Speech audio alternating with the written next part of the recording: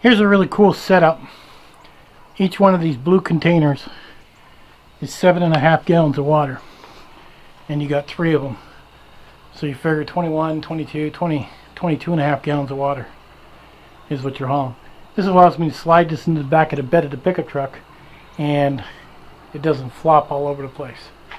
The key components here, now this is just extra wood that I had laying around and I got two 2x4s and a plank and then these connections here with two screws going into the 2x4. This is a ratchet tightening strap so it's not going to go nowhere and it goes all the way through all the ones in the top.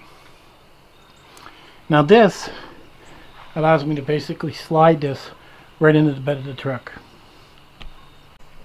And as you can see, it slid into the bed of the truck. Got lots in the in the back end. Now, I could tighten that down to the side, but when they're full, it's really not going to move around.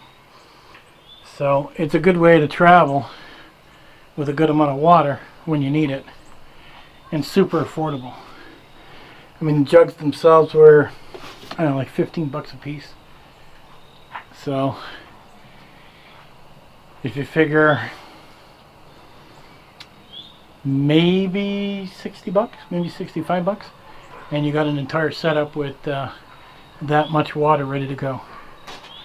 Now I had the wood, I had to buy the clips, and I was worried when I bought the clips if they were going to match up with my hooking system, but I, I did pretty good. I got lucky.